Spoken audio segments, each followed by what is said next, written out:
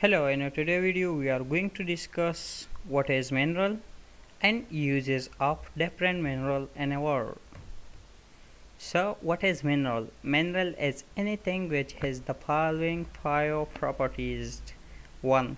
Must be natural, not man-made like volcanic eruption, precipitation from solution tectonic due to tectonic activities.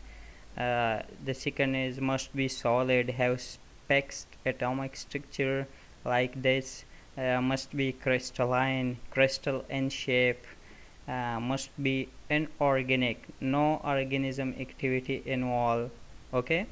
And the fifth one is have specific composition have specific formula like quartz SiO2 okay so mineral is a building block of rock. Here is a type of igneous rock uh, name is granite and it, it uh, composed of different mineral like pink is potassium feldspar, uh, black is amphibole, gray is quartz, white is plagioclase feldspar.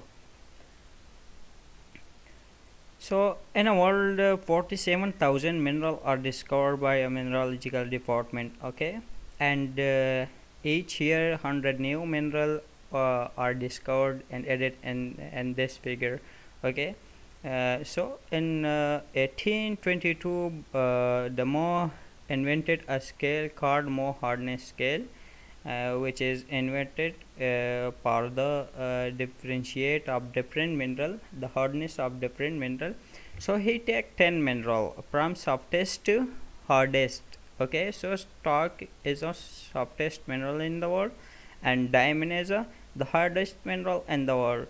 So he also uh, told that, that the hardness of a mineral like 2 to 2.5 like uh, here uh, it will be a fingernail scratch uh, 3 are uh, copper sheet 4 to 7 are nail 4 to 7 are glass 5 to 6.5 are knife blade and so on okay?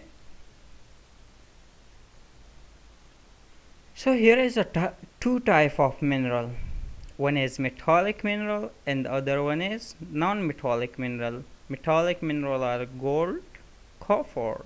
Metallic mineral are those which have good conductor uh, of electricity and non-metallic mineral have no conductivity of electricity. Okay like quartz mica and uh, uses of mineral. Here is uh, some mineral present like talc fluorite limestone quartz silica, barite, gypsum.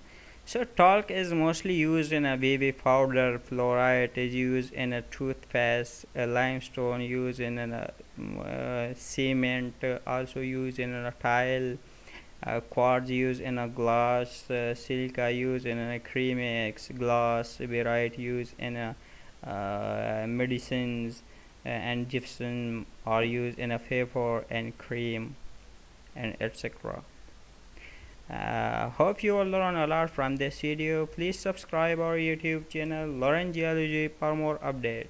Thank you for watching us. Have a nice day